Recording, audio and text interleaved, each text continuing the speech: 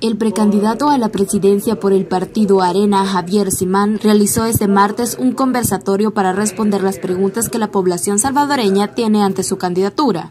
Al evento fueron invitados los panelistas Manuel Burgos, Diana Ramos, Sergio Méndez, William Meléndez y el pastor Toby Jr., quienes realizaron una serie de preguntas relacionadas a las problemáticas de inseguridad, educación, finanzas del Estado y distribución de bienes del Estado salvadoreño.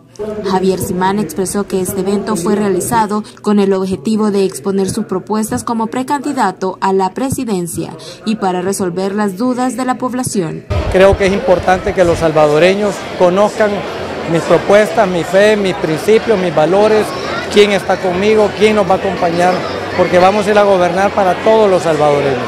Entonces, este ejercicio es importante para que los salvadoreños puedan hacer las preguntas y yo lo... Por su parte, Gerardo Calderón, concejal de la Alcaldía de San Salvador, expresó su apoyo a Javier Simán y que su visión es la acertada. Mire, yo creo que tiene una claridad sobre lo que el país necesita como pocos. Creo que es el momento adecuado para un candidato como don Javier. Yo verdaderamente me alegra escuchar que existe en política una persona preparada, decidida a entrar, una persona que no es política, con esta claridad de mensaje y de propuestas que seguro podrá sacar adelante este país. Realmente Javier Simán es un personaje que es un lujo para nuestro país para sacarlo adelante. También realizó un llamado a las bases del partido para asistir a votar en las próximas elecciones internas del 22 de abril.